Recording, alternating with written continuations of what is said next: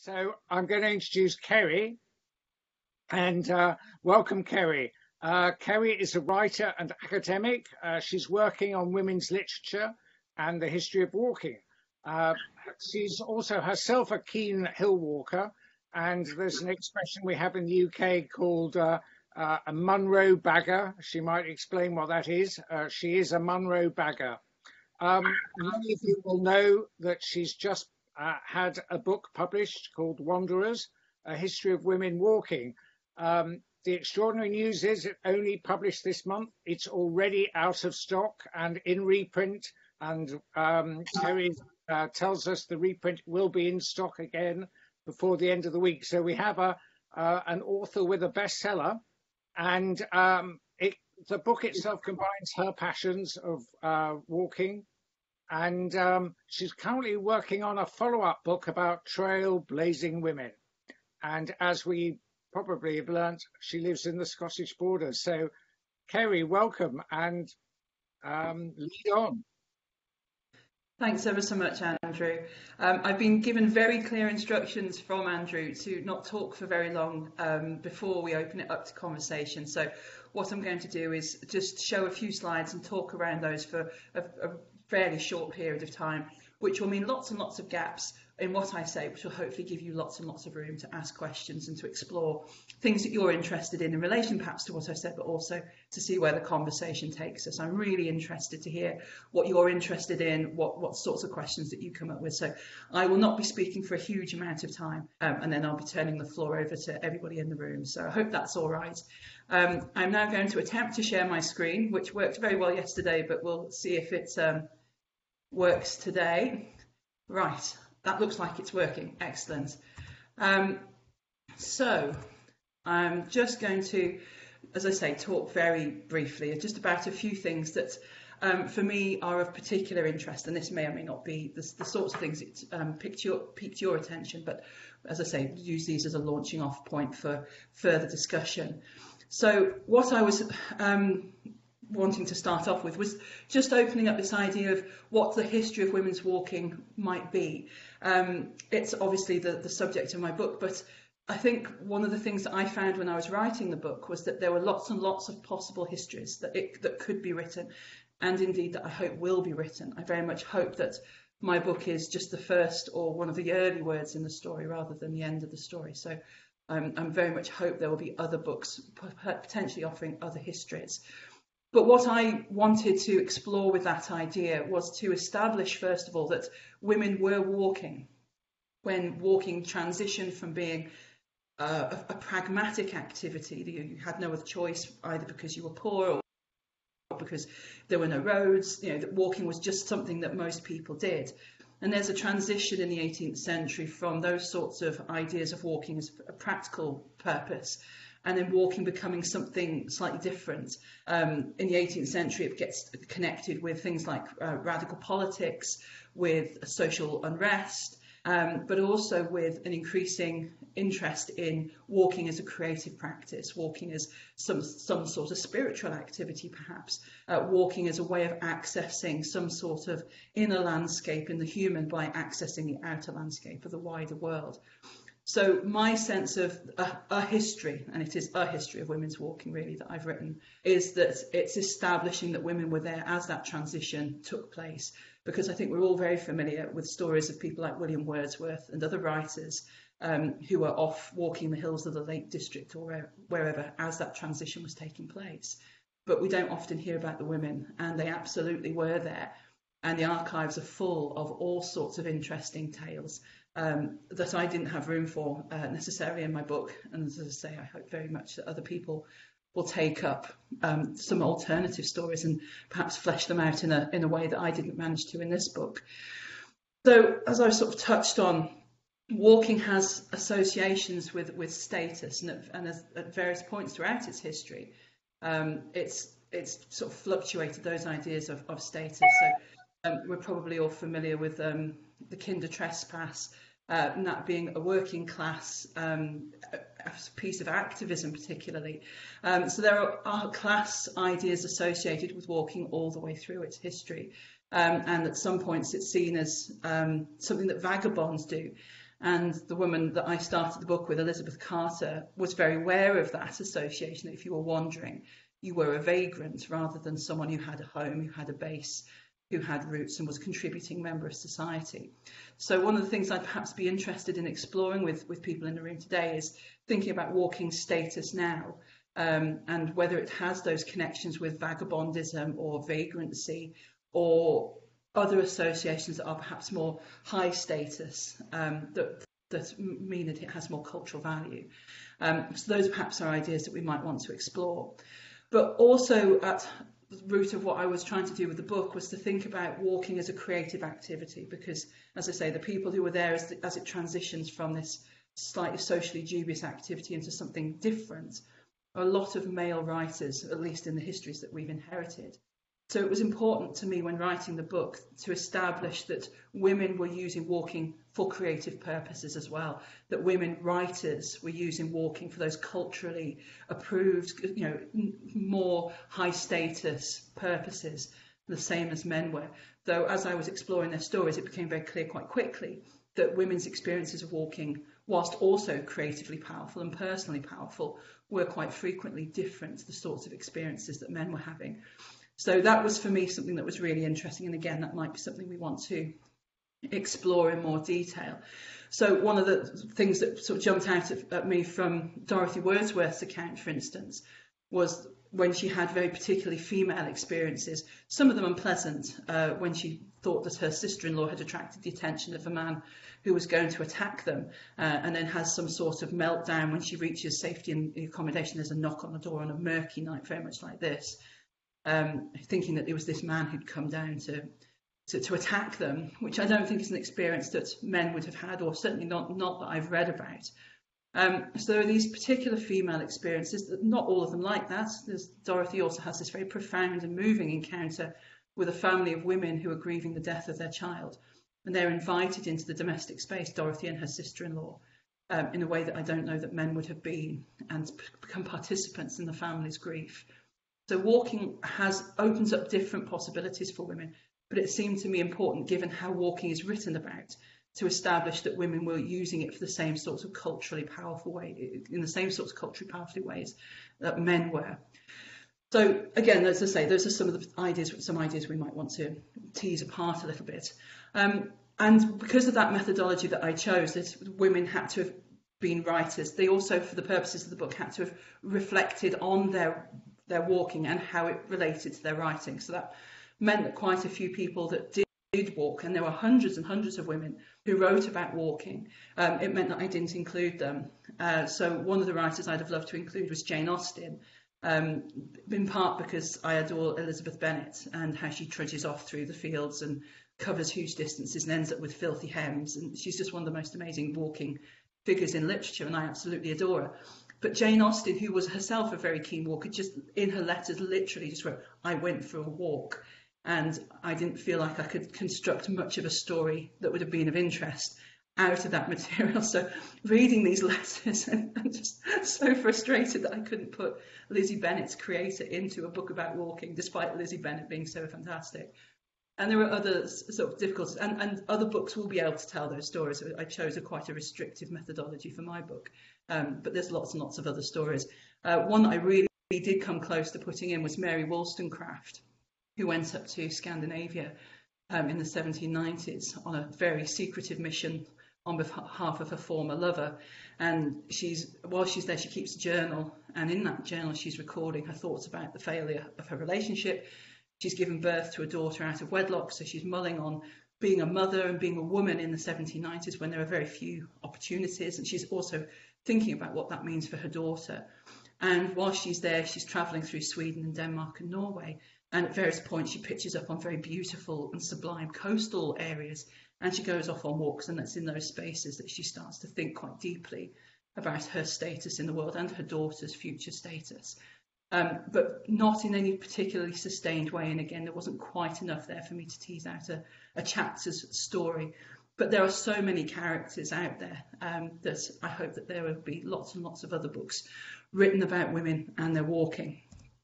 So um, I've talked to you a little bit about the methodology. Um, what gave sort of birth to the book to start with uh, was was me getting quite ticked off at men writers who just seemed to draw on the same male writers of the past and and using those as their examples. Um, I, I, was reading Robert Macfarlane's The Old Ways. Um, that was perhaps one of the prompts, and the way in which he drew on Edward Thomas. And I, I, I just didn't know if that was something that that meant that women just didn't walk or they just didn't write about their walking, but it didn't seem to ring particularly true to me. So I started heading off into the archives and just rooting about and seeing what I could find because it didn't seem to me to ring particularly true, especially when I was reading other books by men about walking, when they were so dismissive that women couldn't walk, they wouldn't have wanted to walk, they wouldn't have enjoyed it, they didn't have the opportunity to. Um, it didn't make sense to me that that would have been the case for 300 years. So those are the sorts of, it was basically me getting really cross um, and being a, an 18th century and Romantic era scholar, um, archives are what I know and what I do. So that's that's where the, the book started, and then sort of grew uh, disturbingly close to the present, which is a you know I'm, I'm used to dealing with dead writers. Um, so it was a bit unusual to be writing into the 20th century, but that was really exciting for me uh, once I got over the fear is, is, is and, and, tracing that um, that trajectory and thinking as well. And I think one of the things that emerged as I was writing the book was thinking about what it might mean to be a, woman walker and what it might mean to be a woman walker with a tradition of women's walking behind me. You know, having always, you know, been on the hills with with male examples. You know, the stories of men. You know, William Wordsworth was the person I I knew. I didn't know about Dorothy's walking. Um, so partly what shaped the book was my own experience as a, as a woman walker, having had some interesting experiences with male walking companions, for instance, uh, not always as supportive as one might have wished. And again, sort of in parallel to what Dorothy Wordsworth found, which was having those different experiences as a woman walker, which I'd never really thought through or given very much thought to. But once I started writing this book, I did start to realise that when I walked on my own as a woman, I spoke to more women than when I walked with my husband or when I walked with male friends. And those conversations were really quite interesting. And I got invited to someone's house. You know, we met randomly on the hill and she happened to live at the bottom of it and she invited me to her house. I don't think she'd have done that if I'd have been in the company of men.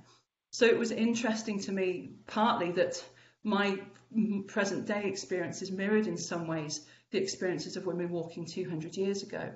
But also, as their stories grew inside me, starting to think about how that shaped how I thought about my own status as a, as a woman walker.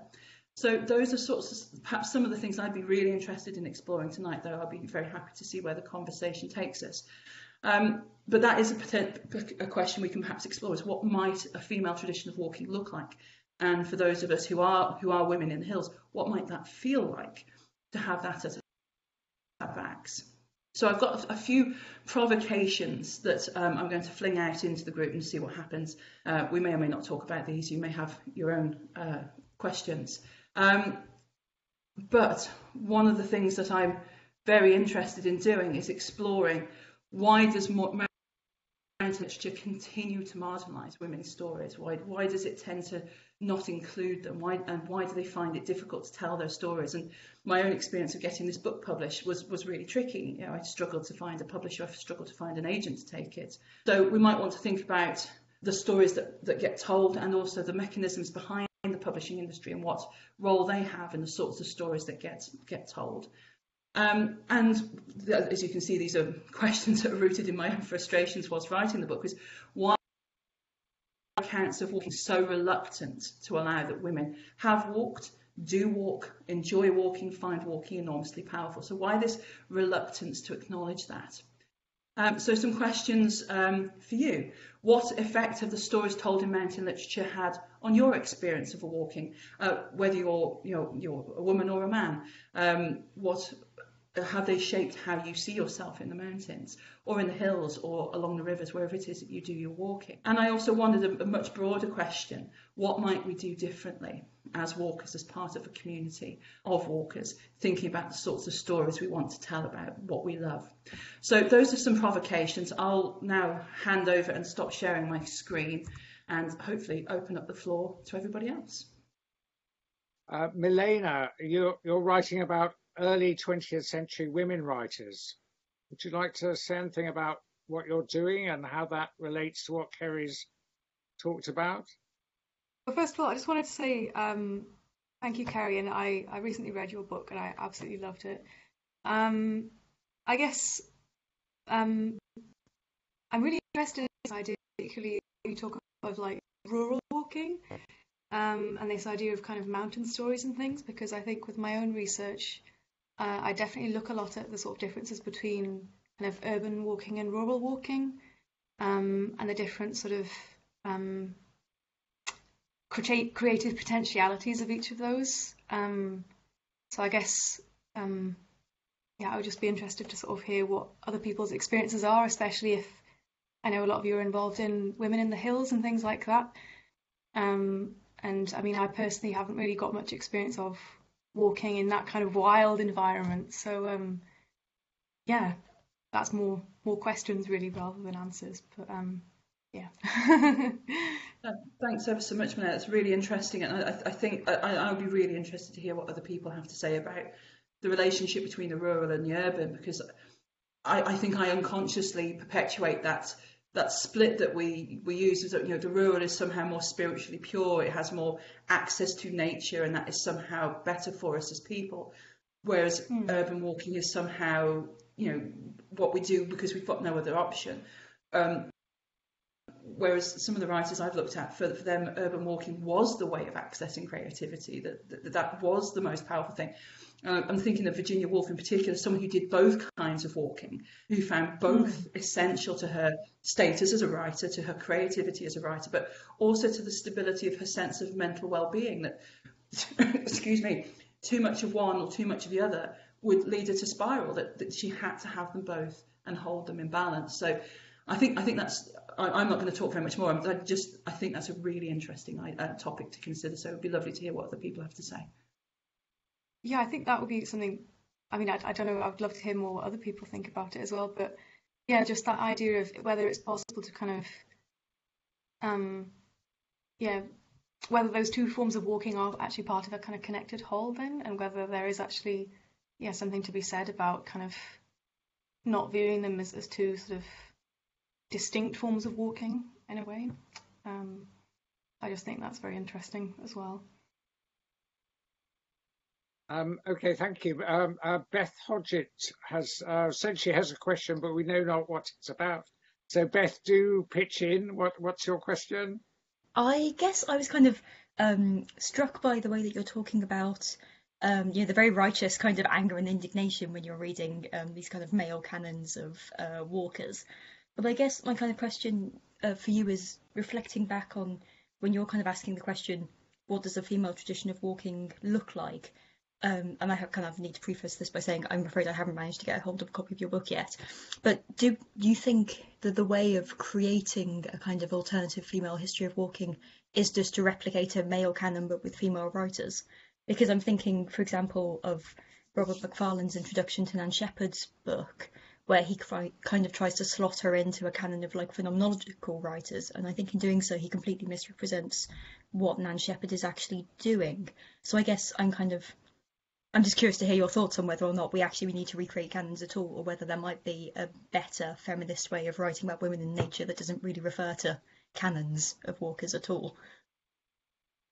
I, th- I think you're absolutely right that there are there will be many better ways of writing about this tradition, and the one that I've pitched on, as I say, there are very specific reasons for that, and I think your the way in which you relate that to what Robert Macfarlane does with the introduction to the Living Mountain is really interesting because I had the same sort of reaction and I also had a sense of frustration that here we had again a male writer co-opting a female writer and presenting her to the world.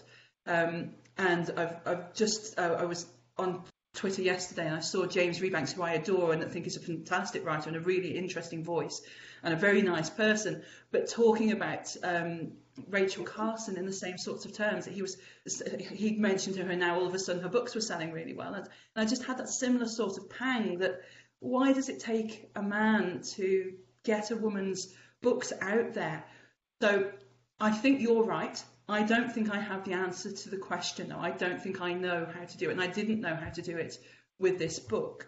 Um, whether subsequently, having felt like I'd established a baseline of, you know, yes, women are here, yes, women are important, creativity, yes, walking is important to women, that I hope that that would mean that there's now a basis for people to do the much more interesting work that you're talking about of creating alternative traditions that look potentially nothing like the canons of men conquering, of suffering, of dying, of you know whatever it is that they get up to on these mountains. um, and, and, and perhaps and, and this perhaps brings in the earlier conversation we were just having about the role of the urban, the local, the familiar, the walking that gets squeezed in between childcare and domestic work. Um, those sorts of unglamorous but so essential types of walking, you know, the incidental, the, the, the, the trivial. You know, I think there's enormous power in those too. Um, and finding a place for those sorts of voices. You know, so it doesn't have to be this grand expedition to be worthy of note. Um, so I, I, think you're absolutely right. I think there are lots and lots of ways we could write better about this. Um, I don't know if that's at all a helpful answer because I'm basically surrendering and saying, yeah, mea culpa. But your your question really excites me, and I hope that that's exactly what happened. Thank you very much. I really appreciate it. Um, okay, Mary Claire. Mary Claire, you've written quite a lot in the chat. Do you want to talk about your your question, um, comment? Hello, can you hear me? Yes. Hello, you can. you hear me? Yeah. Okay. Um, I I actually suddenly got into a conversation with somebody called Sonia. Um, um, there there's a basically what I was referring to is this question that um why are women ignored when it comes to stories about mountain walking? And it, uh, really, it's the same uh, for me. It's the same question as why women ignored as artists? Um, um, because I think creativity is has been for so long the male domain, and tra- but traping and trudging, meaning walking about that involves practical necessity, uh, could they could associate that with women and walking to fill water containers or walking to wash clothes in a river and so on. These types of walking are for men. I'm, I'm, I'm sorry, I'm being very, very uh, uh, uh um, one-sided here. Uh, to, to, make a point, I, I, don't, I wouldn't put ev- all men into a bracket of, like this. But, but over time, over many hundreds of years, so um, men have been terribly threatened by women who've moved beyond the domestic domain, who've moved out of the kitchen, literally. So um, when they venture out of the world of domestic tarts, is threatening for men. Um, and then Sonia, uh, Overall, has said uh, the same goes for psychogeography too, alas, but we're doing what we can. And I was about to reply and say, yes, I agree, but mythogeography, Phil Smith's wonderful term, I think uh, I would suggest is is a more uh, kinder and more inclusive term. And I would also like to replace, or I'd like to add to that, something called reciprocal geography, which um, means that we are beginning to learn to be responsible for our interaction with and impact on our environment. But I'm getting away from from um, Kerri's point here. I'm sorry. I um, and I I think it's marvelous. Uh, the idea that men go up mountains and fall off them and are made heroes, and this is, again, I want to just uh, do a slight dog's leg here, in that um, there are an awful lot of heroes, uh, even today, that are spoken about and given Royal Geographical Society medals and taken films of. And yet, right now, this minute, there are boats full of people who've been running for their lives and they're given no Royal Geographical Society medal, and they're not given any accolade, and they're not written about. So the, the stories, the untold stories, which Kerri is is managing to to to dig up, are, are terribly important for all of us, for all of humanity. And I won't ramble anymore. Thank you for listening to me. Oh, thanks very much. Um, that was really, really kind, Mary Claire, uh, kind um, of you to say that. But lots of lots of really interesting things there. I perhaps pick up on a couple and then see what other people um, make of that. Because um, I, I, th- I, think you're right that there is a relationship between um, practical matters and, and that somehow being a woman's domain, the, the, the walking for practical reasons. Uh, and I'm thinking of a, a, a, road that's not very far from me, the, the Herring Road, which runs uh, from the coast to, um, the next town to me, Lauder, uh, where women would, would, take the creels of fish uh, from the coast for, for sale in the, in the inland market and it's a, it's a wonderful path to walk. Uh, uh, but women walked backwards and forwards along this, you know, hundreds of thousands of times, um, for with no record whatsoever what they thought or felt, or or why they did they enjoy it, did they hate it. Um, and there, there are going to be hundreds and hundreds of thousands of paths like that across Britain and indeed across the world where walking has happened for those sorts of everyday, unremarkable and yet so powerful and important uh, ways. And, and how we have we as a society have somehow given certain types of walking a very particular social status. I don't quite understand how that's come to be. Um, but I'd really like it to be different because I think someone like Nan Shepherd, who writes really interestingly about interiors and lower spaces and the unusual places and finding with them within those enormous power and, and Dorothy Wordsworth too who walks to get the post who goes to collect firewood who goes to get mushrooms or eggs but who finds within those sorts of repetitive walking enormous personal and, and emotional power. You know why haven't we been able to find a place for those stories in our you know the, the history of the walking that we've inherited? I, I, I genuinely don't understand that mechanism. I don't know if that's you know a question that we can explore here, but it's something I'm really interested in is, is how that cultural status gets applied to and, and, and to what? How does that work? Uh, well, that might be something that um, that might be something that Sonia Overall might want to uh, chip in there because Sonia, you you were asking a question about um, women's experience. Do you want to say what you're on there? Hello, um, thank you. Yes, I'm, I'm, I'm interested in um, whether you've come across, I know you, you've been predominantly looking at rural walking, but if you've come across any kind of correlation between the spaces of women walking and their experiences. I'm thinking particularly about encounters.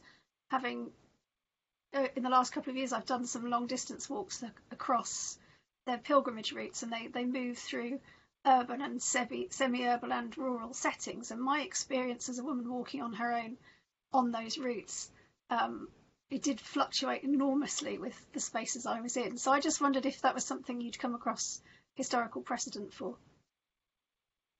In in part, yes, uh, and I'm, I'm, thinking of a writer like Anaïs Nin who was, I mean, she was so interesting to me because of the way in which she explores urban spaces um, and finds within those the power in the encounters that I think I have I haven't experienced the way that Nin did. I've not, I've not felt that visceral fear, but walking in urban spaces, I've certainly been more on my guard and, and more aware of my surroundings, more cautious of the sorts of spaces I might be about to venture into. But Nin found these places enormously powerful. You know, the streets was where she felt at her at the height of her powers as a as a, as a woman. Um, there, there was absolutely a sexual element to that. She enjoyed having the power over men. She was a, a, woman who enjoyed men's company very much um, and found it enormously powerful to be able to instigate or not a sexual encounter with, with any man who looked at her or who indicated interest. Uh, and I'm not sure quite that's necessarily what many women would find on, on, on in an urban environment but it certainly challenged my perceptions about what women walking in the cities might feel. Um, so that's for me an, an interesting alternative. And, and, I guess that those sorts of fears are also present in the rural rural walking, and certainly talking to, to people I know who, who walk at the moment, that that's one of the most common reasons that women give for not walking on their own in the hills is they're they're afraid of being attacked, even though the, the odds of it in the hills are so infinitesimally small that somehow that's been drummed into us as always something to be on the watch for. Um, but certainly from the urban walking I've read, and there's not there's not as much of that kind of walking that I have been able to get a hold of. Um, it is more the rural side of things, but the, the, the urban walking I have looked at paints quite a complicated picture about women's experiences and women's attitudes and, and that fluctuation that you talk about, the confidence, the ebbing and flowing of that confidence in that environment, that's something that definitely comes across as well, whether that's perceived or real. Um, I think that's that's that's a commonality that runs through it. So that's that's a really interesting thing to think about, and, and then applying that to my own sense of walking. That even in a rural environment, my, my confidence also ebbs and flows for various reasons. And it perhaps be interesting to think about the dynamics of that and how that applies, you know, differently or similarly across rural and urban spaces. Thank you. That's really interesting. Uh, Sheila, you're waving at me. Are you about to ask something? Please do.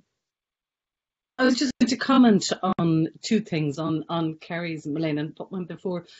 Um, I often wonder is like I do a lot of walking on my own. I have walked in probably five continents, and if I want to walk, I walk. So I don't think about you know that's what I do, um, both urban and rural. And but but it's other people's perception of me walking is always what the problem is, and that is it. so consistently people say, "Are you sure you're wise? You know, be careful. Are you wearing the right clothes? What's going to ha- have you got your phone with you? What's going to happen if you fall?" Um, you know, I, give you the list. Like there's a list, and in urban things, it's obviously now I'm I'm a good bit older, but when I was younger, you know, and I did a lot of, you know, and people would say, you know, my mother used to say, be very careful. You know, there's parts of the city that women with red hair are seen in one way in one way only, you know, and so on. So the stories, there's layers upon layers of things that were said to me, and it's what society says to women. And my view always was like, if I want to go somewhere, I'll go somewhere. And recently, I've had a particular experience with that. Um, uh, because I broke my ankle very badly, and I was on my own when it happened, and it was an accident. It was not, it wasn't walking, but but but everybody's saying, isn't it just as well? You know, you were near a phone, you were on your own. Was that wise? And it kind of is like, I just feel like saying, shut up. Like you wouldn't say that to, you know, there is a romantic idea if the man rode into town, you know, stranger came into town, he was on a horse, he'd come a very long way, you know. And it, like it's the same, that that person is always a man, it's not a woman. You know, a woman rode into town, she was on a horse, she came a very long way, you know, she got off the horse, she went into a bar and said, give me a beer, you know.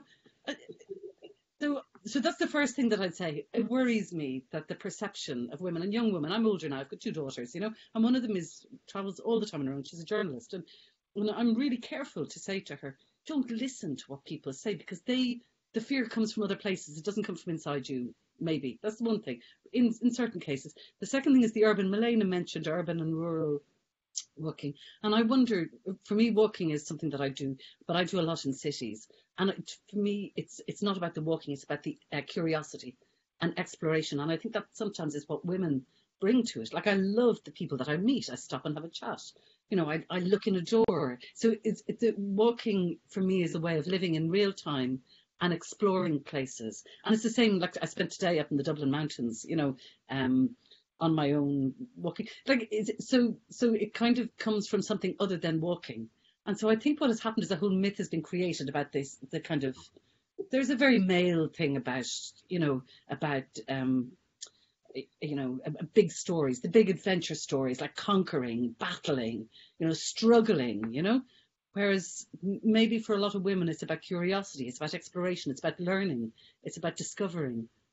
Uh, you know, it's not about asserting. It's it's about being in the in the city or in the landscape and just looking outward from your position on your feet. I don't know if that makes any sense, but anyway, that's my. No, thanks so much. I, am nodding and nodding and nodding, and I can see from the chat that other people are, are, coming in as well, and so that, that made a lot of sense to quite a few folk, I think. So thanks so much for sharing that. Um, um, some of the things that I was thinking as you were talking was um, thinking about how that myth that we get told, oh, you know, what what are you going to do if you have an accident, which I've, I've heard as well, um, how those fears then get internalized, or at least we are told that they get internalized, and then men having told us those fears, or, or women who've internalized those fears, then use that to tell us, well, well, what women wouldn't have walked because, well, why would they have done? They would have been too afraid. So it's an amazing cycle of, of those myths sort of coming round and round and round to always somehow manage to exclude women's narrative. So even if they do overcome the fear, well, that's just yeah, they're just the oddities. Yeah, one of the books I was reading just literally four pages and 280 on women walkers because it just well there were, there were two examples but that was it. The rest of them were too afraid you know there's no point looking for them.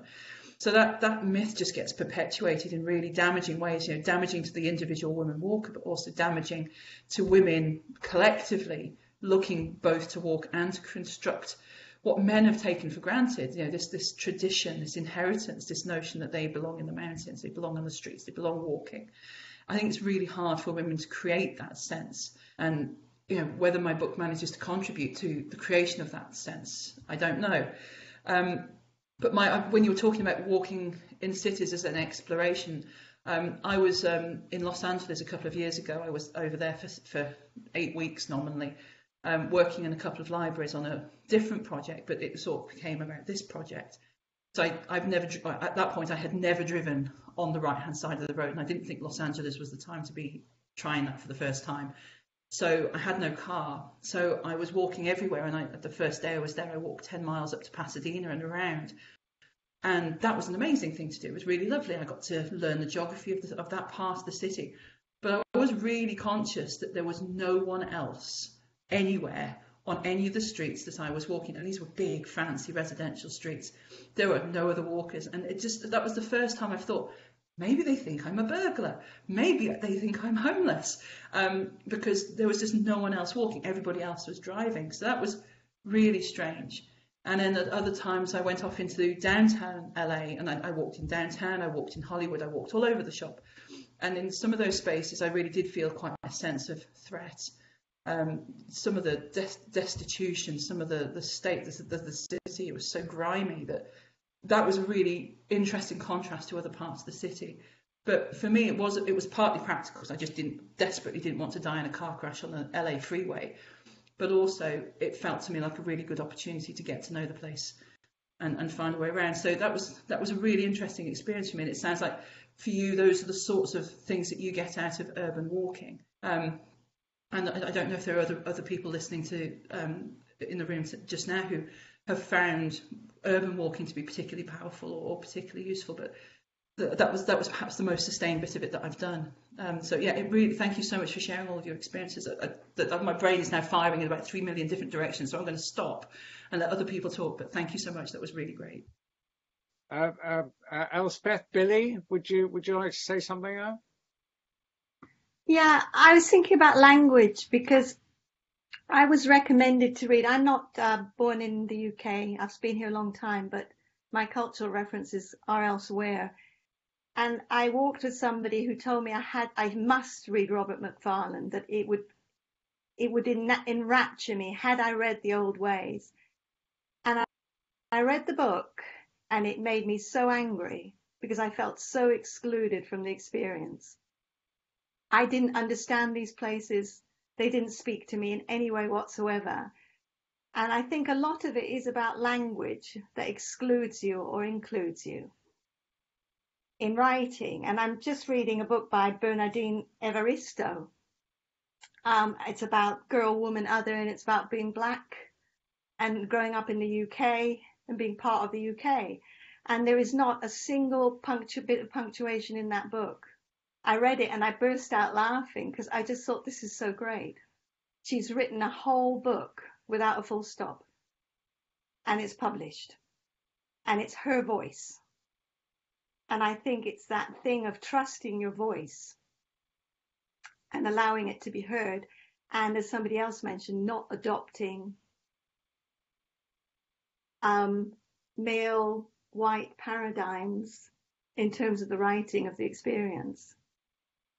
Because that that is what's that's what because you can experience it as a woman, but if you then write about it in a certain way, you are excluding people.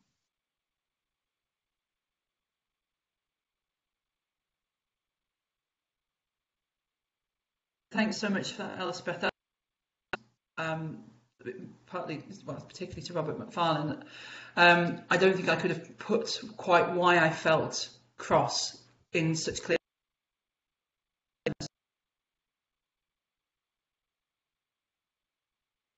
uh, Kerri, we're not hearing you. We've got a slight problem with the audio. Um, think we've lost Kerri altogether at the moment. So uh, just uh, just bear with us. Let's see if we can get her back. um, uh, Emma, um, uh, with Kerri not in the room, um, you've you've made a couple of points um, about urban walking and things. Do you want to uh, say them out loud or add to what's the discussion? Um, but I'm just, I was talking about urban walking in my experience of, live, of, of living in a very sort of um, traditional mill town in Rossendale, which is known for its uh, mill traditions. And within 10 minutes, I can be up on the hill. Oh,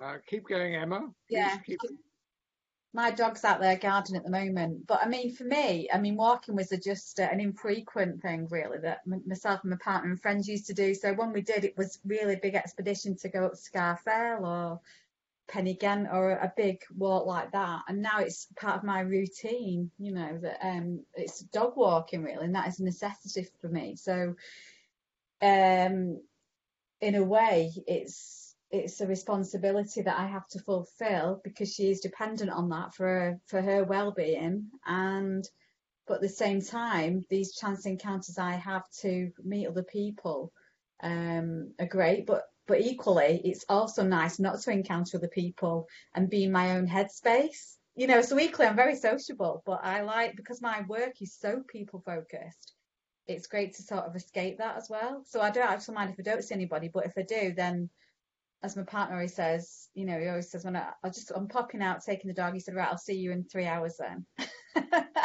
when the walk should only take an hour. but yeah, it's great. I mean, just I think ap- apart from the connections with people and learning personal stories and narratives about the town itself or about dogs, and you know, that's usually the conversation. But I think being in the landscape, I, I think um, what somebody said this actually, it embeds you in the place, Lucy.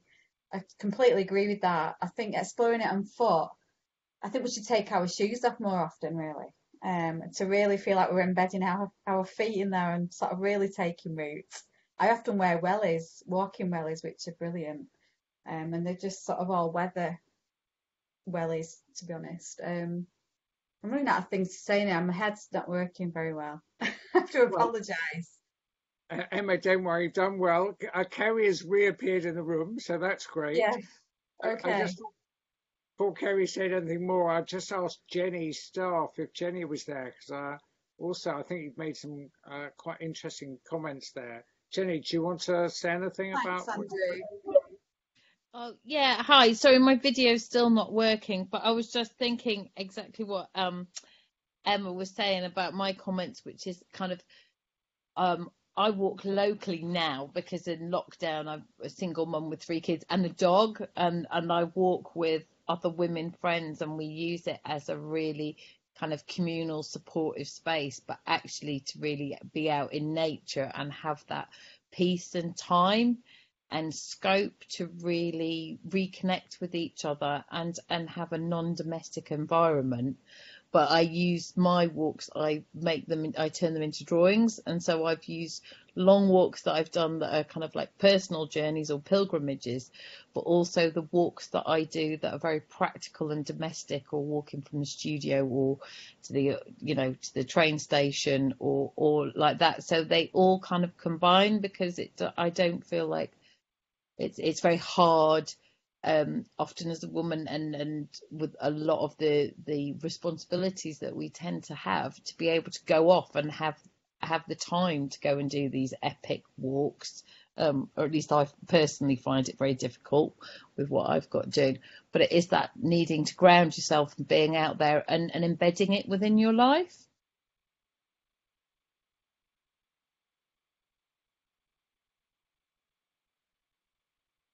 So would you like to come back in? Yeah, I, I, I had this eerie experience where I could hear and see you all, and then apparently I'd vanished. Um, but I think I did miss a little bit of the conversation, so I'll perhaps pick up on what I what I heard um, there, which is, um, and and also someone. Let me just go back up into the chat because this is sort of connected. Is I see it's Sonia, um, who again speaks for for me a little bit here and saying that um, Robert Macfarlane made her furious because he just sort of disappears off, um, leaves the kids. You know, we don't know with whom. He just goes. Um, that that there was a draft of my book where I was quite snippy about that. That I was advised to take out. so I did get cross about that exact thing too. Um, and and hearing the other women talk, you know, uh, uh, Emma and, and and others talk about the importance of that space, that opportunity, wherever it is. It doesn't have to be you know, at all on a mountaintop, but any kind of walking um, free of domestic responsibilities, however short that time is, how precious that is. But it, it just frustrates me that that is so much more often something that has been negotiated for women. Um, and that the ways in which we've this this cultural value that I was talking about earlier, this randomly ascribed cultural value, has landed plump on the stories of people who don't have to negotiate these things at all as hard or as frequently, um, who are expected to be out there, who are supposedly stronger and more capable. You know, you know, when actually, for a lot of people, what is the most meaningful kind of walking is the local, is the walks with friends, is the same walk that you did yesterday, which is the same walk that you did last year and you just keep walking those same routes. And those are the sorts of walking practices that, that matter. And and we just how can we find we need to find room for those in our stories of walking and, and what's important. Um, and I think this sort of comes back to the earlier point about canons and replicating the male canon and what can we do differently. Um, and, and you know whether that's stylistic, whether that's linguistic, whether it's emphasising a broader range of walks as being important and, and, and considering those different kinds of importance. Um, but, but it's really, really lovely to hear about all these different sorts of walking that people are doing and, and how they've sort of been really important to people's sense of well-being. So that, that, that's me wittering a little bit. So I'm going to stop there and let other people come in because I can see that there's lots of conversations coming up in the chat. I, I, I was going to, uh, Simon, you were questioning whether you had um, uh, good reception or not. But Simone, if you've got a question to raise or something you want to say. Um, yeah, maybe I won't use my camera, but can you hear me? Yeah, we can, yeah. Ah, great, okay. Um, yeah, I guess I was just thinking about Kerri's questions and what people have been talking around gender and mountaineering and just being in the Cairngorms Mountains at the moment. And um, I, I guess talking about a canon and these canons or changing canons. I think it's also like the canon is a, is also you could change that word for systems or the systemic cultures around walking and gender. I guess as a walking artist, I've worked in both urban and mountaineering in sort of environments, and I think my interest at the moment, I'm working on a longer project called Into the Mountain, which directly relates to Nan Shepherd's The Living Mountain text, but working with somatic and dance-based practices and working with lots of different different women living in the area and beyond um, is that often that sense of community of coming together to walk has been quite prevalent in women's experiences who I've spoken to.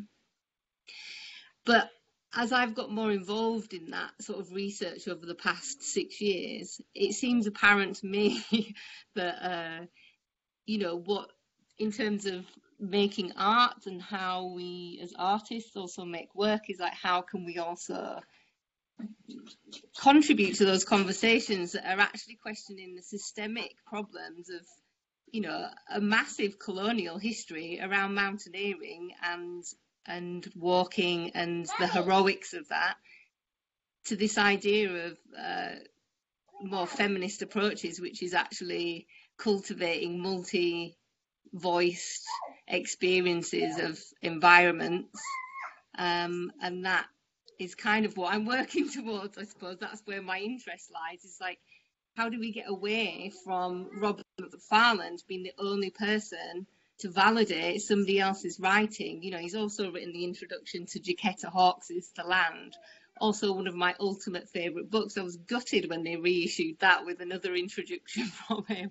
Not to have a big slanging match about Robert Macfarlane, but I guess my interest as well is that I think walking arts and particularly dance practices and all these other things that are outside of a literary canon can are also contributing quite significantly to these um, discussions about how we consider how women engage and you know and i still feel like i've been having this same conversation for so long now. And that's not even and we're, not, we're only just getting into a question around like diversity of women in mountains you know. But I think what I found shocking was after we'd done these performances in the Cairngorms almost two years ago now, was that that was the height of the diversity of bringing audiences to the Cairngorms Mountains as an example at the at the meeting of Mountaineering in Scotland because they were a partner involved in that.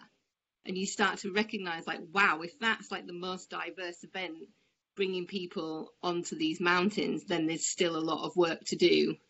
But I think arts can also bring like these different lenses in in which people can feel like they might be more welcomed into these spaces and and have more of a sense of community. But I mean, I could go on and on and on I'm writing a PhD about this as well. So it's, but there's also something, I guess, around the leisure aspect of that and a very strong colonial history that's to do with men walking and putting flags on places. And so my feeling is that we have to question what mountain leadership even looks like and, you know, ha- how we just start to shift the lenses and offer multiple ways of approaching these things. It means that some women might feel like they can enter into this kind of experience because they can see that there's new options in way in how to enter into that world of walking, not just through a very army based technical learning.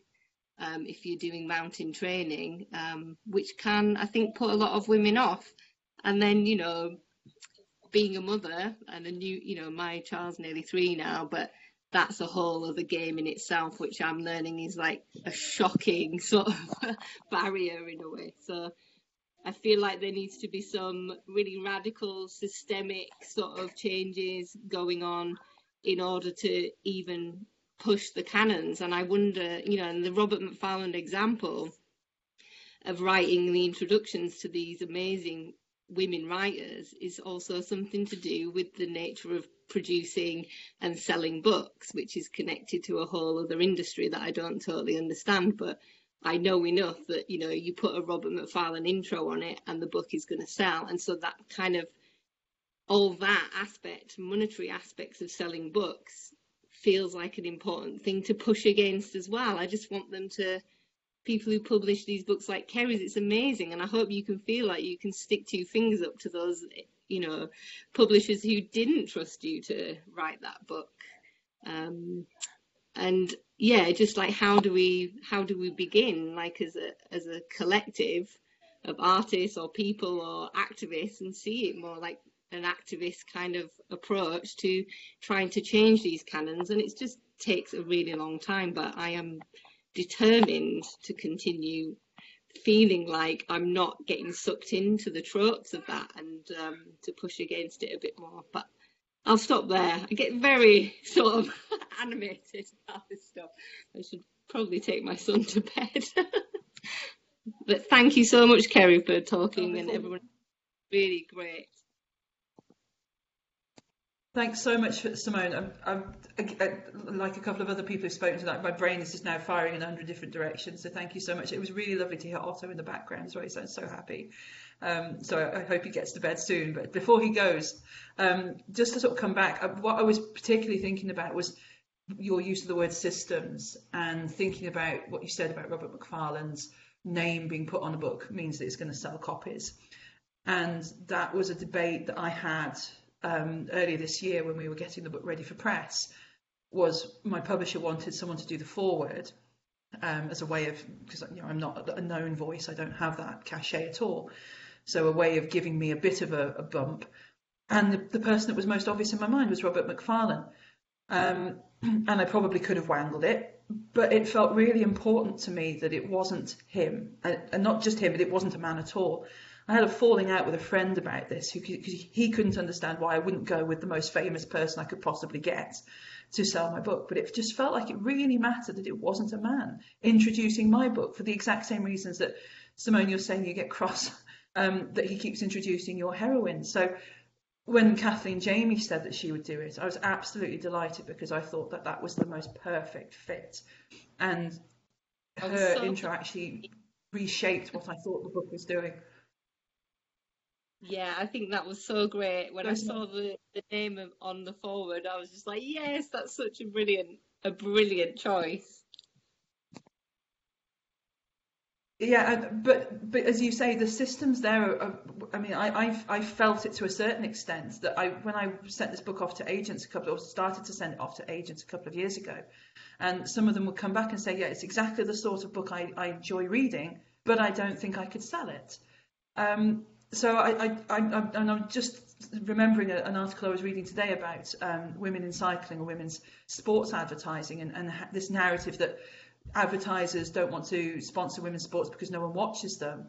Um, when actually the data that people are gathering now is that the more uh, sponsorship there is, the more people watch, and it's a really virtuous cycle. And, and whether that's a sort of systemic change we need to see if we can get in, in publishing, that that is one of the pinch points here that stops um, women's voices getting out there, women's stories getting told, is that there's a publishing industry that has set itself up on various assumptions that you know people just don't want to read these stories, so why bother printing them? Well, actually, you know, as soon as you start talking, and this this event is demonstrating that perfectly, that there's such a richness in women's experiences, in, in, in attitudes to walking, different kinds of walking, different views on it, you know, feminist practice. There's all sorts of stuff coming out of this conversation. Um, I can't imagine how that wouldn't be replicated, you know, many times over if you got other groups of people together. So I, I, don't know if I have any answers to this question, but it seems I think you're absolutely right, Simone, that we need to tackle the systems and find ways of working differently, telling stories differently. Um, you know, in, in the, some some of the ways that have been suggested tonight. So thank you so much for what you said this evening. That's really really lovely. Um, okay, I'm aware of that. Uh, uh, Lucy and Lucy Paris and Amelia uh, have posted a couple of things in the chat, and I haven't given them a chance to voice them. So I don't know whether Lucy or Amelia would like to, to say anything at this stage. It, was, it just just felt to me a little like I, have just um, I've just done an MA where, um, having started as a printmaker, I ended up as a walking artist, but none of my walking was done sort of in mountain settings. It was done in edgelands. And it just felt like that sort of edgeland walking was as much of an adventure for me and a challenge as it was, in fact, more so in many ways than it was sort of walking up a mountain. And I think that for many people, um, mountain walking isn't practical. Um, like there are people on here talking about having small children. My sort of routine walking started when I had small children and I lived in London and I walked miles with them. Um, and the challenges that are faced um, by young mothers with children in pushchairs. Um, is, I think is an interesting angle on um, childhood walking um, and walking in, an, in a sort of non-urban or edgeland setting um, in that sort of liminal landscape where you have this sort of balance between the security of being near an urban setting and yet the adventure of being in something that is um, rather nondescript. It doesn't fit categories. Um, and, and there are many people doing walking in those kind of areas, mainly people like dog walkers, um, people with young children on bicycles, um, teenage kids hanging around. And I, I just think that um, there's possibly there's, an area of walking there to be explored um, within sort of writing. There's, there's only a couple of pieces of writing that I know of, and that's the um, Edgelands book, um, Paul Farley. Yeah, that's just just just something that I thought I'd put in there. No, thanks, thanks so much, Lucy. That's really helpful, and and I, th- I think you know, Simone mentions the challenges of walking as a as a young as a, a, new mother.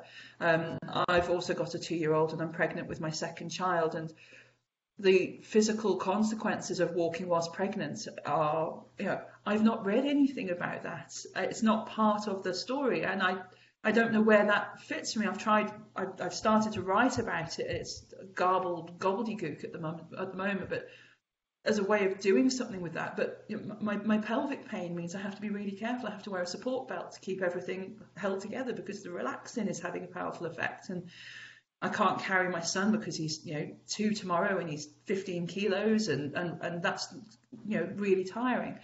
Um, but it's also presented opportunities for us. We've got we've got a lovely um, community woodland. I, I live rurally, but this is a, a, community woodland near the village where I live, and um, my son adores running around that. And that's a bit more of an edgeland sort of place. Um, thinking about the practicalities of that, and, and I, I guess it narked me a bit when I read it in Macfarlane, but it's it's made me more angry since. Uh, thinking about people like you know Samuel Taylor Coleridge in, in, in 1802, he nicks off to walk up Broad Stand, and he just leaves his wife and his children behind. There's no hesitation, there's no pause, um, and then he just wanders off to Malta and leaves them behind and abandons them. And, and that sort of the difference experience between fathers who walk and mothers who walk that, that's that's that's so powerful. And and then when, when you're talking about edgelands and local environments and, and the immediate, that's what you access when you've got those encumbrances, and you, you find a way to find significance. But how do we get that into the, the, the written record or the or the practice or the art about walking? Um, when there seems to be very very set views of what is culturally important, what matters, what people are prepared to publish. So um, I think that's a really helpful insight and, and thinking as well about edgelands as a this strange space in nature writing as well. You know, more broadly, it's it occupies a, it's started to become more fashionable to talk about those edgelands, but I'm not sure in the sorts of ways that you've been talking about them, which is to me are much more interesting. So thank you so much for sharing that perspective. That's that's really illuminating. Uh, Amelia, does Amelia want to say anything? Uh, because Amelia has been very helpful, Kerri. She's pointed out that your book is in stock and can be ordered and has provided the URL. But Amelia, there are quite a few things uh, earlier on in the chat that you were mentioning. Would you like to talk about anything at all? Or um, well, I think hello. I think like Kerri, my brain is going in a hundred different directions, and I've scribbled notes all over the place, and it's fascinating to hear from people who are rural walkers who are artists talking about walking, um, who are encouraging other women to get walking. I feel like my walking has been quite solitary, and it's usually to make sense of where I am physically in the world and also to make sense of where I belong in it. Like, how do I feel when I walk the streets? I've lived in London for half my life. So my walking is mostly London walking. And that's always been against a background of male psychogeographers uh, Iain Sinclair and more like like Will Self kind of took over that a bit. And I've wanted for so long to find women talking about walking and being in cities. And I haven't, I know there are a couple of people out there like the Flaneuse book, I've forgotten the author, but I've missed, I've missed being able to read about people like myself walking rather than conquering mountain heroes who don't need to worry about their safety or stuff like that. And I'm really excited that Kerri's book hopefully is going to swell the ranks of people who have already been writing about this and people who will come and will get the confidence from more conversations and write their stories and uncover old stories and bring it all together. And I think this it feels like this could happen organically, but it's um, it's really wonderful to be part of the conversation. So thanks, Kerri, for your book and also for this talk today that was a bit of a ramble. You're really welcome. Sorry, I dropped out and, and missed the middle bit, but I think I caught the, the, the crucial beginning and end. Um, okay. So thank you so much for that. Um, I, th- I, think the, the, the, central thing for what you said there was seeing yourself represented and how important that is, and how frustrating it is to perpetually not see yourself represented, to not see people like you doing the sorts of things that you enjoy, um, and how that shapes our sense of whether this is something that's for us. And, and I think that applies for lots of different groups. I, I, was at a, an event last night talking about um, people of different ethnic origins trying to access the countryside and not seeing themselves represented in various ways and how damaging that is. Um, so and and then talking about Will Self, who's you know another big name who just you know has to tell his agent he wants to write a book and it's got a publisher and off he goes and it's all fine. Um, when there are other women who are doing different kinds of walking, and, and Lauren Elkin's book that you mentioned, Flaneuse, is a really interesting exploration of those sorts of ideas, but. That I don't know that there's been another one to follow Lauren's book. I know she's she's working on another book at the moment, but we, are we going to be able to build up that critical mass of texts that finally persuades publishers? I, I, I don't know how we move past that chicken and egg situation where um, we, we don't seem to be able to get the books published. So, you know, people don't think there's there's a market for the books to be published. Um, but I would be really interested to hear what it's like to walk the cities, you know, the city streets as a woman. Um, I feel like I've read the same stories by men a hundred times. So where are the news stories coming from? How can we get those out there? So thanks so much for sharing your perspective. That was really interesting.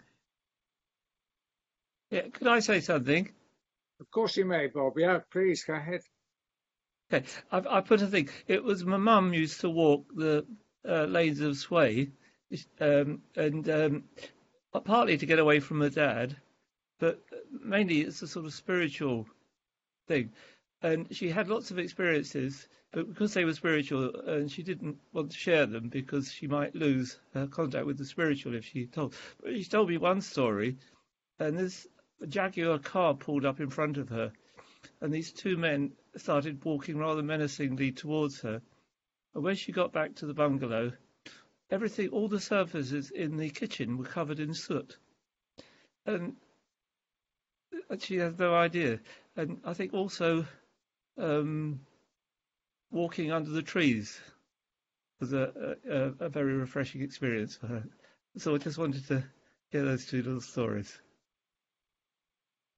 Uh, thank, thanks so much, Bob. That's, that's really helpful. I, th- I think that idea of walking being spiritual and also walking as personal freedom, I think that ties in with what a few other people have said this evening about the space to walk being so important um, and be, being able to explore yourself on your own in your own headspace. I think that's that's really significant, and that ties in, I think, with what some people have been saying about motherhood as well.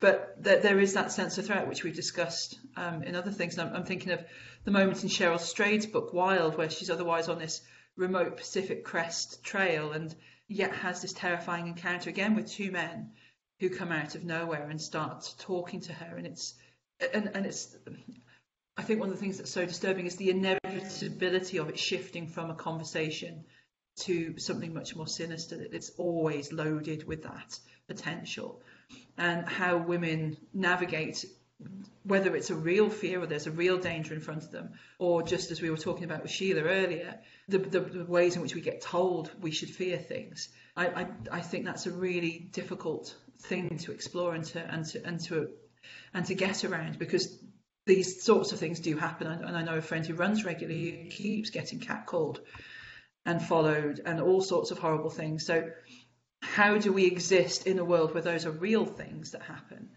without succumbing to an overinflated sense of fear, which isn't always ill misplaced? I, I, I don't quite know how we, we, we do that. And, and these are questions that aren't, um, I think, faced by that many men so what does that do to our sense of ourselves in the landscape? What does that do to our sense of ourselves belonging in these spaces? So thanks very much for sharing those two stories, Bob. Those are really illuminating.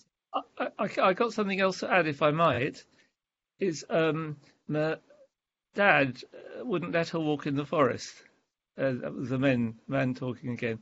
And the irony is that um, when he died, uh, she lost her sense of balance and was confined to the bungalow most of the time. I came down to be her carer.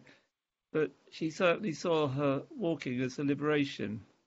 And that confinement of, of her dad and then her physical condition uh, is, is interesting. I don't know. Absolutely, and and again, thinking about how this it's not just an end of life thing for women. Um, that those sorts of physical confinements happen or have the potential to happen. I, I, I am experiencing one now. It's going to get worse until I give birth, and then it, I will probably be able to walk a bit more, but I'm still going to have a, a very young infant, and that's going to keep me much closer to my house. and the, the sorts of walking I can do out the back door than I necessarily want to. Because I, I do love the mountains. That is somewhere I really enjoy walking. And, and I'm sure for other women, as, as children have arrived or as domestic responsibilities have arrived, that there's that sense of closing in, of, of, of there being some sort of limitation, however, manif- however it manifests, however that's felt. That those are moments that occur at various points in women's life. It doesn't it doesn't just come at the end as physical decline takes place. So that's another really interesting perspective is to think of that relationship uh, with, with with senses of freedom and how important that is to a woman's lived experience. So again, thanks for really for sharing that, Bob. That's really helpful. Um, one of the areas that uh, you know we do with Walk, Listen, Create is you know we want to try to create more and more opportunities of people to work together and explore opportunities, and that's kind of tough because we're three blokes. So if at any time anyone who's in this um, uh, conversation thinks that they'd like to help us out and join in and curate conversations and invite other uh, artists of their choice uh, or writers to come and talk and be in a in a cafe, then we'd really welcome that. So um, that that's a plug for for Walk, Listen, Create. Um, but I used to work as an urban designer, and I can assure you that one of the areas that uh, I'm really um, vehement about and very angry about is the way that uh, women and children are treated in the city uh, by the architects and the transport planners and highway engineers that who create the actual urban environments in which we can walk um, because they take very little notice uh, of uh, women and children uh, uh, throughout their age, whether they're young women, whether they're teenagers, uh, often teenagers like to walk three abreast, and that's uh, because they're um, uh, you know they're having a three-way conversation with their friends. And you need wider footways for that, but we don't offer them that opportunity. And then you know women with young children and women who are incapacitated through pregnancy or heavy shopping or whatever you want to kind of think about it, we don't design our cities for that. So I'm really aware of that. And then when, as I'm growing older, I'm aware also of you know, the fear of tripping, of falling, of fast traffic, not understanding or appreciating how fast vehicles are coming towards me, all those kind of issues. And I know that they're not just a, a masculine gendered thing. And what we have created in our society are places where we have to live, which only service or serve men aged 25 to 50, if that, 25 to 40. And I think that, you know, what we need to do is we need to get that kind of revolution coming up where we actually say we have to design for everybody. But anyway, there's my little rant. Okay. So, but uh, anyone else, that's given you a bit of time now. Five or six of you remain silent throughout. You haven't written anything in the chat. If you want to ask a question or pitch something into Kerri, now's the time to do it. Kerri, would you, I'll let you say anything more that you want to say as well, please. If you, well, just just just in response to what you were saying about um, cities um, being designed about around men, and just picking up on um, a couple of other points that were made earlier in the chat, um, that Caroline Criado Perez in uh, Invisible Women points out that Google Maps, when you ask it to find a route between point A and point B in a city, will tell you the fastest place. But that's not that's that's what um, an unencumbered man might want what a woman might more likely want is the safest route or the best lit route or the best route for a buggy or you know, and there's no way of getting Google Maps to do that. You can't get that on your phone. All you've got is the best is the, is the most direct route and you've got no ability to, to, to tell what kind of environment that's going to take you through. So even at the level of the most fundamental mapping technology, women don't get the opportunity to evaluate the, the, the spaces that they're being asked to walk through. Um, and, and, thinking about Virginia Woolf, thinking about Anaïs, and thinking about uh, Lauren Elkin, when they're writing about cities, they're writing about places they've come to know well and that they're walking the same sorts of routes. They're not often venturing off into different places. So there, I think there's a sense of safety and familiarity about that. But what about the woman who's, um, you know, like, like Sheila was talking about, just curious? Um, how does she find out what kind of place she might be letting herself in for? you know, even at that very basic level, we're, we're excluding the sorts of women's walking or, or the sorts of walking that women may be more likely to do. And you know, pointing back to what Simone was saying about systems, they're, they're, they're really deeply rooted in, in the way our society is constructed. So that's my halfpenny's worth about that. So sorry, a, a rant to follow your rant. if I may hook into this, um, uh, Carrie, uh, you bring up um, the uh, inaccessibility of particular types of information from Google Maps.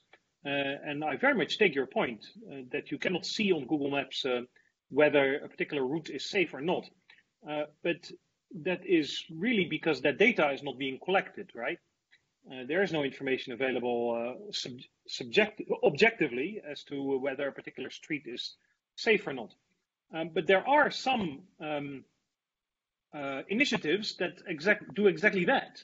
They do try to um, map the uh, safety uh, of uh, streets within particular cities exactly to uh, be able to create routes that avoid the dangerous parts uh, of the city.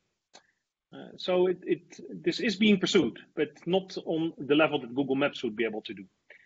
Um, and uh, while I have the microphone, I would like to ask a question to Mary Claire. Uh, sorry, Carrie. um, Mary Claire, you mentioned uh, in your very first chat that you, you practice drift singing methodology. And I think I have to know what this is. It's something that I invented for my uh, practice-based PhD. Can you hear me? Okay. So I uh, I started off by drawing and I was asking the question is when you're a practitioner and you're working in the outside environment, can you evidence an interaction between the practitioner and that environment through drawing? And I noticed that when you draw from observation, it's simply you're taking information, you're not interacting with place. When you draw onto the environment, such as a games pitch marker or that kind of thing, you're actually imposing a sign onto the environment, which um, Andrew Stuck would be very well aware of, all the signs in our environment that direct us through place, that make us infantile in a way, so we have no choice. And interestingly enough, when I drew um, floor plans, life-size floor plans of buildings and ships on parks in London, I noticed that passers-by would follow the line like you would follow a sheep trail. So they're, you know, unconsciously using them as a, a marker that marks safe passage because it's well trodden. But that's not an interaction, it's an imposition. So I realized that the only way that you can draw through space is if you understand that sound can be a drawing because it's uh, it, it moves through place. It's durational and it's spatial. So if you if you understand that sound can be a drawing or a drawing can be made in sound and you make that sound with your own body, you are the tool that generates that sound, then you do interact with place through refraction and reflection and echo. Are you with? Uh, uh okay. so I, yeah, I invented this. I I invented this terminology called drift singing, which obviously borrows from the, the from the situationist drift and so on. Um, and I, I did a multi-voice drift, drift song through a place called Bunhill Fields, which is in London, where Daniel Defoe and William Blake are both buried. So I was kind of curtsying to the to the men of psychogeography, or to the godfathers of psychogeography. But I am very well aware that there's been a lot of, there are an awful, in fact, there's a, a book called Psychogeography in which not one woman is mentioned. so oh, I'm, I'm sure I'm, there are actually many. so I'm thrilled that Kerri has written this book. Thank you, Kerri. And thank you so much for asking me what, okay. Now, I, my next question is, uh, can you share some links with this? Uh, yes, I can. I can try and find my YouTube uh, things.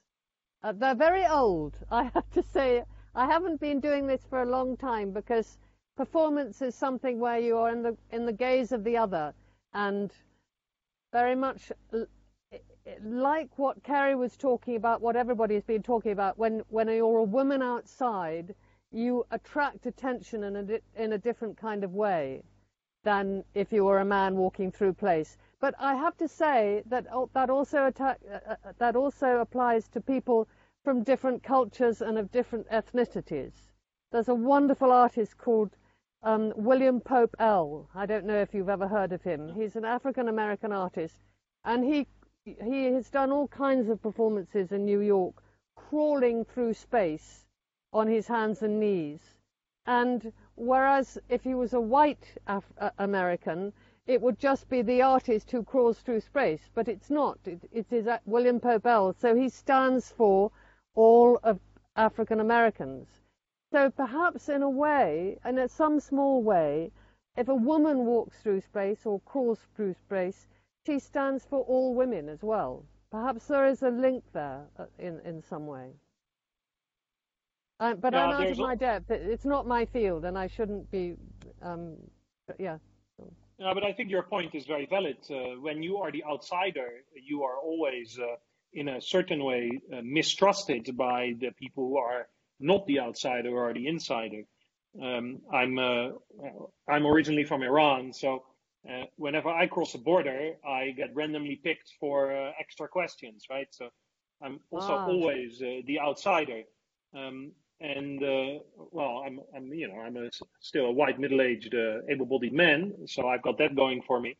Um, but uh, I do think that uh, a lot of the problems that you describe and that Carrie uh, uh, touches on are because uh, women uh, are are uh, well created the consequence of women being outsiders, considered outsiders in the field of psychogeography. So they are different, and therefore uh, they are yeah the other.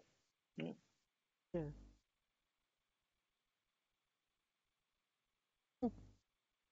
Thank you. Um, Mary Claire, I'm really glad Babak asked that question because I also saw that in the chat and didn't know what that meant and really wanted to know. So that's that's really awesome and that's given me some interesting thoughts about different ways of interacting with place. I, I think I followed the technicalities of it. Um, and that's really, again, thought provoking. I could feel my brain sort of going, again, firing in far too many directions at once. Um, but what you said, psychogeography was a book I read in whilst I was researching um, my book, and it just it wasn't the first book where there was not a single mention of women. But I do remember just thinking, "Oh my God, here we go again." They're just where where are we? Where are we? And I'm picking up on Bab, what Babak's just said. This idea that anyone who isn't that what was it, white male, 25 to whatever. Um, how, how how has all of that, you know, the majority of human experience somehow being categorized as other? How have we ended up with that as the, the default male that Caroline Criado Perez talks about? Um, how has all of that ended up as other when, when we're the bulk? We, we are the majority of, of those human stories. Um, I, I, and how do we go about redressing the balance and, and thinking about the other sorts of suggestions for feminist practice that maybe it's these sorts of imaginative ways, Mary Claire, that you were talking about, of getting into the relationships between people and space in new and innovative ways. So thank you so much for sharing that with us. And, and Babak, again, huge gratitude for asking the question that I, I meant to ask and then forgot. That's that's really great.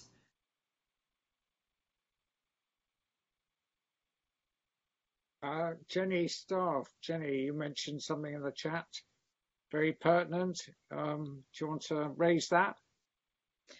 Yeah, I, I was just um I've been looking to see if I can find any kind of um queer or LGBT walks or art walks, and I think there's there's something that I found in the States, I think, one kind of artist collective, but there doesn't seem to be any because we were talking about other and you know um you know just not this kind of white cis straight male um kind of con- concrete and just thinking about all the other groups as well who aren't represented in walking communities.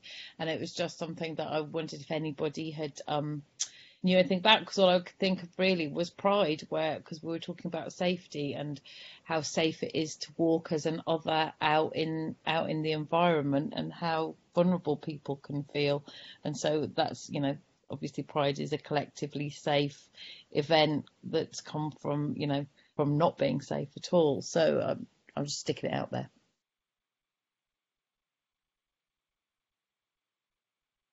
Yes, thank, thank you very much, Jenny. I, I don't have very much information about this. Is one of the many gaps in my book that um, I hope if I do more more writing about walking, I'll be able to address. But perhaps other people know um, who are in this in this room who might be able to add something to the to the sum of our knowledge because I would be really keen to know more about that.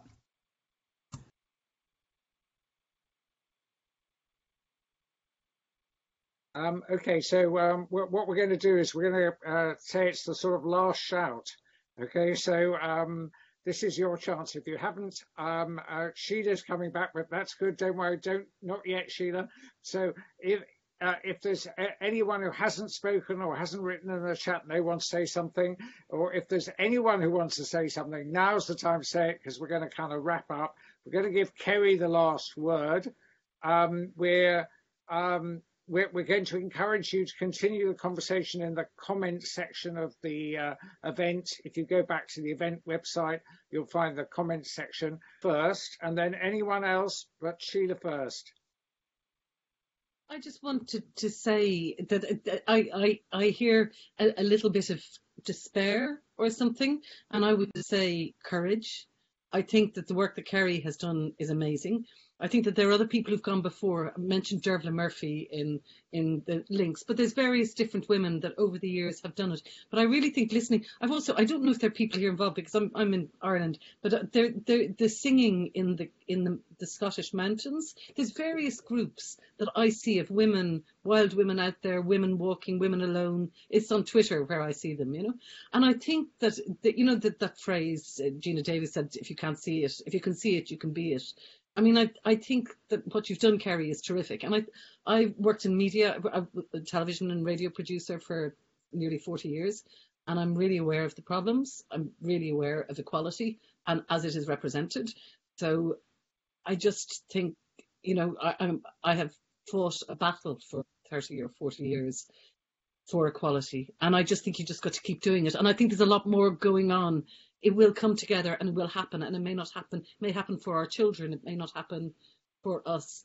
But i just say eh, have courage all of you. You know every little bit that somebody does is moving the discussion on. And also don't listen to anybody. When if you want to go up a mountain on your own go up a mountain on your own. If you want to walk into the dodgy parts of the city do it. Don't you know just do do it just as a person.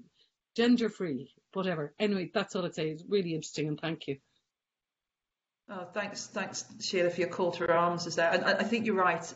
Um, when I started this book, I, I, it was born out of anger and frustration. Um, but as the book's reached completion, there's been a, I've, I've felt a real change in, in, in the weather. That it feels like there's this growing body of, of, of work. That there's a, a momentum there.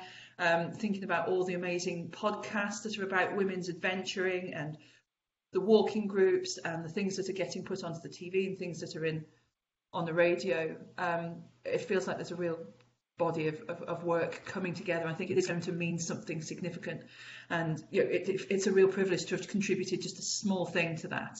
Um, and the, this, this, conversation is another contribution towards that, and, and, it all feels really exciting. And I hope that we'll be able to see something sort of tangible coming out of that. Hopefully, whilst we can benefit from it. So th thank you very much for your call to arms. I, I, I, feel that quite deeply. So thank you so much. Um, okay, Sonia, do you want to mention uh, something about uh, the Women Who Walk Network? Oh, yes. Um, sorry, I was I wasn't attempting to plug. I just wanted to say yes, yes to Sheila there about that call to arms, and I I had a moment of extreme fury a few years ago after reading Will Self's psychogeography, and at the beginning he talks about the psychogeographical fraternity, and I just sort of read really, and I I met several women who were identifying what they did as psychogeography.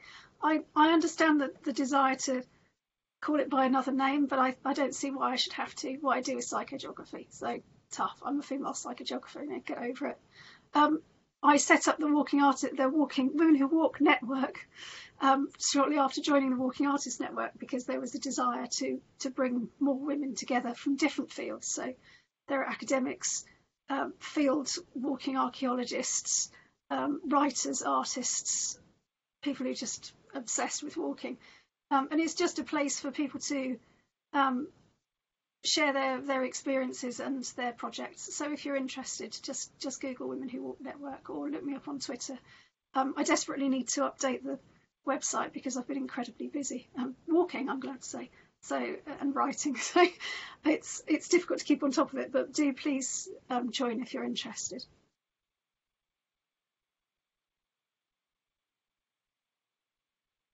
Thanks so much for that. I, I love the idea of, of Will Self fury. Um, that that's I, I, I feel like I've I've found people who feel the same way about these books as I do. It's such a relief, um, and I love that you're still walking and you're still furious. I think that's amazing. So have a look at your network. Thanks so much for sharing that. Okay, final last orders. Anyone else want to say anything more until we hand over to Kerri?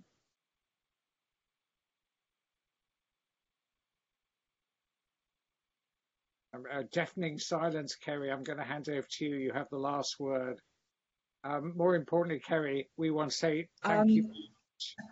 So uh, I'm going to say thank you very much, Kerri, for all you've uh, provoked. Uh, it's been brilliant. So well done provoking and have the last word. Um, well, I, I, was going to say thank you to everybody who's contributed so magnificently this evening. It's it's been a true pleasure to listen to so many different perspectives, to have my brain pummeled and provoked and excited in so many different ways, and to have my perspectives challenged and developed. So, thank you so much to everybody uh, for all that you've done tonight. It's been an absolute, it's been a privilege.